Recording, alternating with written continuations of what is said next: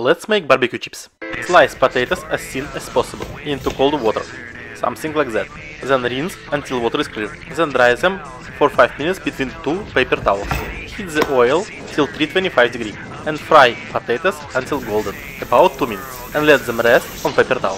For seasoning, paprika, onion powder, garlic powder, sugar, powdered sugar, salt and chili powder. Sprinkle on chips and enjoy. From one potato you will get one pack of chips. Try it once and will keep making it.